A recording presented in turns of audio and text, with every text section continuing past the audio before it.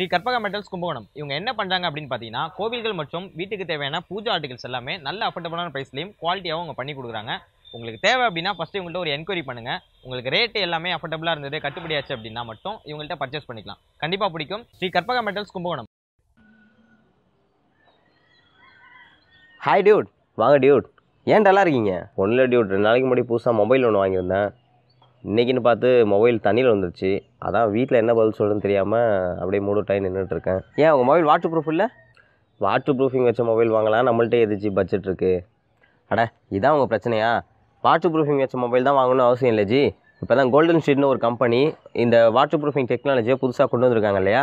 So அந்த technology மூலயமா நம்ம எந்த மொபைல் வேணாலும் யார் வேணாலும் வாட்டர் ப்ரூஃபிங் உள்ளதாக நம்ம மாற்றிக்க முடியும். அதுவும் கம்மியான ரேட்டோட அது எப்படிங்கிறத நான் எக்ஸ்பிளைன் பண்ணுறேன் பாருங்கள் ஹாய் ஃப்ரெண்ட்ஸ் நான் உங்கள் விக்னேஷ். இல்லை இல்லை நான் தான் விக்னேஷ். சரி உங்களுக்கு வேணாம் எனக்கு வேணாம் ஹாய் ஃப்ரெண்ட்ஸ் நான் உங்கள் விக்னேஷ்.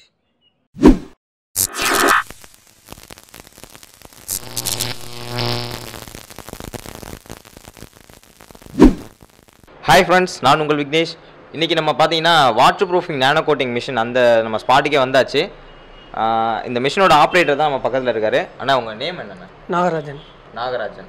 ஓகே இப்போ இந்த மிஷின் வந்து எப்படி ஒர்க் ஆகுது அப்படிங்கிறத நம்ம நாகராஜன்கிட்ட கேட்போம். அவங்க எப்படி ஒர்க் பண்ணுது அப்படின்னு சொல்லி நமக்கு டெமோ காட்டுவாங்க.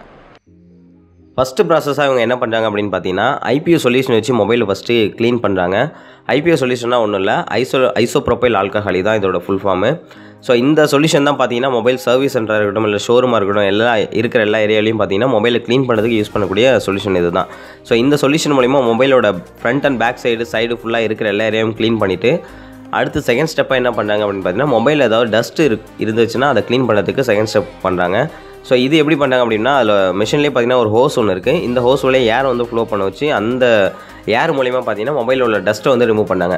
ஃபார் எக்ஸாம்பிள் எப்படி சொல்லணும்னு பார்த்தீங்கன்னா மொபைலோட சார்ஜ் போர்ட் இருக்கும் and three point five MM audio jack இருக்கும். ஸோ இந்த கேப்லலாம் பார்த்தீங்கன்னா டஸ்ட்டு ஃபார்ம் ஆகிருக்கிற சான்சஸ் ரொம்பவே அதிகம். ஸோ இந்த டஸ்ட்டு அதில் இருக்கும் பட்சத்தில் நீங்கள் அந்த கோட்டிங் நீங்கள் பண்ணீங்கன்னா இந்த லேயர் வந்து பார்த்தீங்கன்னா அந்த டஸ்ட்டில் வந்து ஃபார்ம் ஆகிடும் ஸோ அதனால் பார்த்தீங்கன்னா வாட்டர் ரெசிஸ்டன்ட் வந்து அந்தளவுக்கு இருக்காது. ஸோ அதை தடுக்கிற வகையில் தான் இவங்க வந்து ஃபஸ்ட்டு மொபைல் உள்ள டஸ்ட்டு அதெல்லாம் க்ளீன் பண்ணிவிட்டு அதுக்கப்புறமா பார்த்தீங்கன்னா மிஷினில் வந்து இன்சர்ட் பண்ணுறாங்க இந்த டஸ்ட்லாம் க்ளீன் பண்ணதுக்கு அப்புறமா முக்கியமான விஷயம் என்னென்னா சிம் கார்டு அண்ட் மெமரி கார்டை ஃபஸ்ட்டு ரிமூவ் பண்ணிடணும். ஸோ அதை ஃபஸ்ட்டு நீங்கள் கண்டிப்பாக இன்ஷ் என்ஷூர் பண்ணிங்க. அதை ரிமூவ் பண்ணதுக்கப்புறமா அதை பத்திரமா வச்சிங்க. ஏன்னா மிஸ் ஆகிறதுக்கான சான்சஸ் ரொம்பவே அதிகம். ஸோ இப்போ பார்த்தீங்கன்னா ஃபுல்லாக க்ளீனிங் ப்ராசஸ் முடிஞ்சிடுச்சு.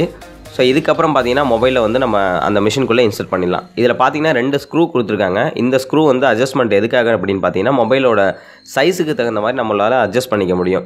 மொபைல் பெருசாக இருந்தாலும் சரி சின்னதாக இருந்தாலும் அதுக்கு தகுந்த மாதிரி நம்மளால் வச்சுக்க முடியும். ஸோ இதை வந்து ஃபிக்ஸ் பண்ணதுக்கு அப்புறமா பார்த்தீங்கன்னா ஒரு லிக்யூட் ஒன்று இருக்குது இந்த லிக்யூட் தான் பார்த்தீங்கன்னா நம்ம மொபைல் வந்து கோட் பண்ணக்கூடிய லிக்யூடு இந்த லிக்யூடு பார்த்தீங்கன்னா ரெண்டு சைட்லேயும் பார்த்தீங்கன்னா ஒரு டேங்க் மாதிரி சின்ன மினி டேங்க் ஒன்று இருக்கும். அந்த டேங்க்கில் வந்து ரெண்டு ரெண்டு எம்எல் பார்த்தீங்கன்னா அவங்க வந்து ஃபில் பண்ணிடுவாங்க. அதை ஃபில் பண்ணதுக்கப்புறமா மிஷின் வந்து நம்ம ஸ்டார்ட் பண்ண வேண்டியதான் உங்களால் அது வந்து நல்லா கிளியராகவே பார்க்க முடியும். ஸோ இதை ஃபில் பண்ணதுக்கப்புறமா பார்த்தீங்கன்னா இருக்கிற எல்லா பொசிஷனையும் ஃபஸ்ட்டு செக் பண்ணிக்கணும். மொபைல் கரெக்டாக செட் ஆகிருக்கா இல்லைங்கிறத அவங்க செக் பண்ணிடுறாங்க. செக் பண்ணிவிட்டு மிஷினை வந்து லாக் பண்ணிடுறாங்க. லாக் பண்ணிவிட்டு பார்த்தீங்கன்னா அதை ஆன் பண்ணும்போது ஒரு ரோஸ் கலரில் லைட் எரியதை உங்களால் பார்க்க முடியும். ஸோ இப்போ இந்த இதை பார்த்தீங்கன்னா நல்ல விசிபிளாகவே தெரியுது. இந்த லிக்விட் வந்து பார்த்தீங்கன்னா மொபைலில் ஸ்ப்ரே ஆகிறத தெள்ள தெளிவாக பார்க்க முடியும்.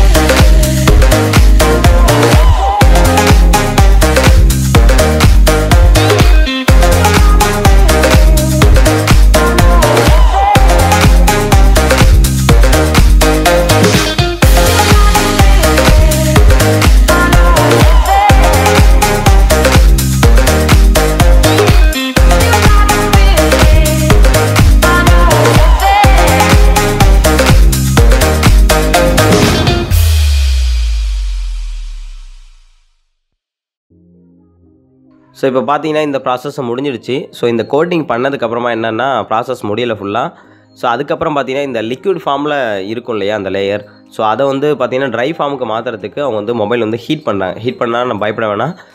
லைட் வச்சு பார்த்தீங்கன்னா லைட் சோர்ஸ் மூலிமா தான் வந்து ஹீட் பண்ணுறாங்க இந்த மிஷின்லேயே பார்த்தீங்கன்னா கீழே பாட்டமில் ஒரு ஒரு லாக் மாதிரி ஒரு சிஸ்டம் ஒன்று இருக்குது ஸோ அந்த சிஸ்டமில் பார்த்தீங்கன்னா ஒரு லைட் சோர்ஸ் ஒன்று கொடுத்துருக்காங்க. சோடியம் லைட் கொடுத்துருக்காங்க. ஸோ அந்த லைட் மூலியமாக பார்த்தீங்கன்னா இது வந்து ஹீட் பண்ணி அந்த லேயரை வந்து பார்த்திங்கன்னா ட்ரை பண்ண முடியும்.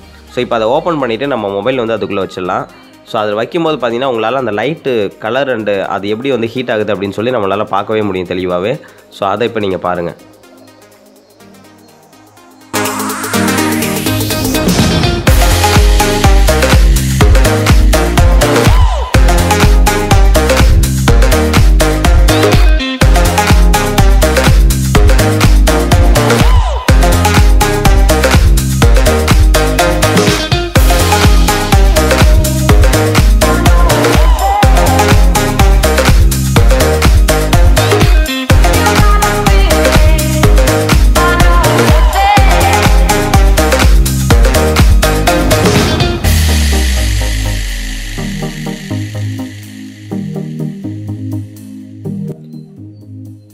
பார்த்தீங்கன்னா இந்த ப்ராசஸ் முடிஞ்சதுக்கப்புறமா பார்த்தீங்கன்னா என்ன பண்ணணும் அப்படின்னா உடனே வந்து வாட்டர் டெஸ்டிங் பண்ணிடக்கூடாது.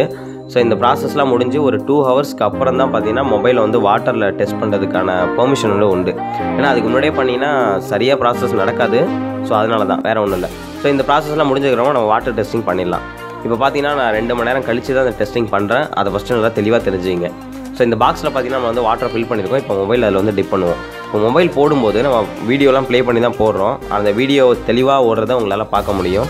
ஸோ அதே நம்ம water coating water nano coating பண்ண அதே மொபைல் தான் நம்ம இப்போ வந்து இதில் நம்ம டிப் பண்ணியிருக்கோம் ஸோ அதில் எந்த ஒரு ப்ராப்ளமும் இல்லாமல் வீடியோ ஓடுறத நானே நல்லாவே தெளிவாகவே பார்த்தேன். ஸோ அதனால தான் சொல்கிறேன் ஸோ இப்போ பார்த்தீங்கன்னா அது வீடியோ கிளியராக ஓடுது இல்லையா? இப்போ இந்த கிளியராக ஓடுற வீடியோவை நம்ம வெளியில் மொபைல் எடுத்தாலும் அது அப்படியே தான் ஓடிட்டுருக்கு எந்தவித பாதிப்பும் ஏற்படலை. ஸோ இது எவ்வளோ நேரம் பண்ணலாம் அப்படிங்கிறத நம்ம இந்த வீடியோட லாஸ்ட்டில் வந்து நம்ம சொல்லியிருக்கோம். ஸோ அதை வந்து தெளிவாக கவனிச்சிங்க. அதுதான் முக்கியமான விஷயமும் கூட. ஸோ இப்போ மொபைல் பார்த்தீங்கன்னா எந்த ஒரு ப்ராப்ளமும் இல்லாமல் நம்மளால் அதை வந்து பார்க்க முடியுது. ஸோ அந்த மொபைலையும் நான் யூஸ் பண்ணி பார்த்தேன். எந்த ஒரு பிரச்சனையும் வரல.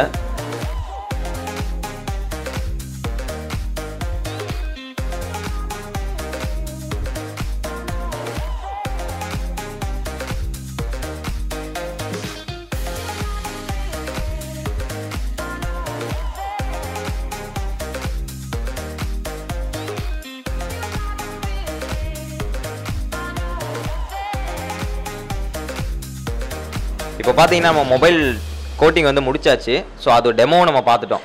ஸோ இந்த கோட்டிங் வந்து பண்ணதுக்கப்புறமா என்னென்னலாம் செய்யக்கூடாது அப்படிங்கிறத நம்ம அண்ணன்ட்ட கேட்டுருவோம்.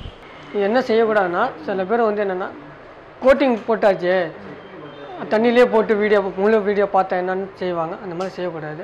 அதே மாதிரி பார்த்தீங்கன்னாக்கா நீச்சல் குளத்தில் கெமிக்கல் கலந்த வா வாட்டர்லாம் மட்டும்னாக்கா waste normal water rain water நார்மலாக பேசிக்கும் போது ஏதாச்சும் கீழே விழுந்ததுன்னா எடுத்து உதறிட்டு நம்ம யூஸ் பண்ணணும் அப்படி சார்ஜ் போடணும்னா தண்ணியில் விழுந்த மூணு மணி நேரம் கழித்து தான் சார்ஜ் போடணும். இந்த தண்ணியில் விழுகிற ஆழம் வந்து பார்த்திங்கன்னா நாலு அடி வரைக்கும் கெப்பாசிட்டி நீங்கள் தண்ணியில் விழுந்த உடனே எடுத்து உதறிட்டு நீங்கள் யூஸ் பண்ணிக்கலாம்.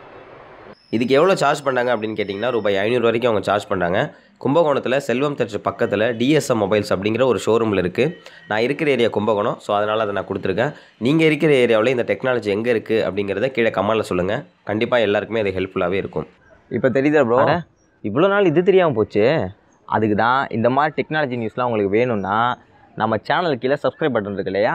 அதை கிளிக் பண்ணி சப்ஸ்கிரைப் பண்ணி பக்கத்தில் உள்ள பெல் ஐக்கனை கிளிக் பண்ணிங்க. இப்போவே பண்ணிடுறேன்.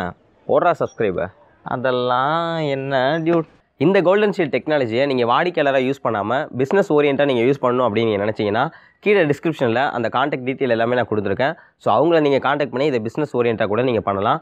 ஸோ ஒரு டேவுக்கு பார்த்தீங்கன்னா மினிமம் ஒரு மூவாயிரத்துலேருந்து ஐயாயிரம் ரூபாய் வரையும் சம்பாதிக்கிறதுக்கான வாய்ப்புகள் இதில் இருக்குது ஆனால் முன்பணம் கட்டுற மாதிரி இருக்கும். அது என்னன்னு சொல்லி டிஸ்கிரிப்ஷனில் டீட்டெயில் இருக்குது அவங்கள காண்டாக்ட் பண்ணி நீங்கள் தெரிஞ்சுங்க தேங்க்ஸ் ஃபார் வாட்சிங்